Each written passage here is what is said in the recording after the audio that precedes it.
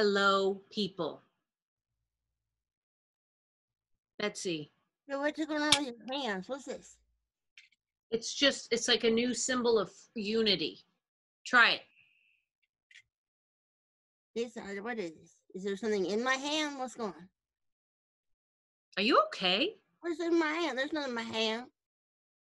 There's no Cheeto here. There's no beer here. There's no penis. There's nothing going on. in the in these close quarters. Uh, um, I live in a very small, small hovel. Oh, you live in a small one. And Betsy is living in my closet, and tensions are mounting. It's nothing pretty, guys. It's like when those housewives get mad about like people. It, it, yes, it's like when the housewives get mad about people. Yeah, and they about Betsy defecating in my closet listen. and You know what? my beautiful clothes. I'm sorry, but they are to uh, cleanse herself. I don't like that. Are and is she gonna pay the dry cleaning? No. Why? There's no Whatever. money.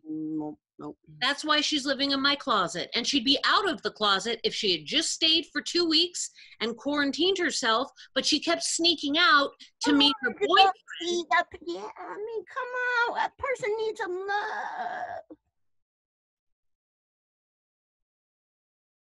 I don't feel sorry for you. No, but other people will want love. I just, I, I just, I'm over it. And if anybody can take her You're off, not looking at the lip close. if love. anybody would like to take Betsy in, and perhaps you, you have a bigger closet than mine, and maybe not clothes that are so expensive. Uh, please contact me directly. Send me a DM, and I will uh, transport her to you in a crate. An air, uh, I'll poke a hole in it. How's that, Betsy? I'm thinking about it. Namaste. God bless you.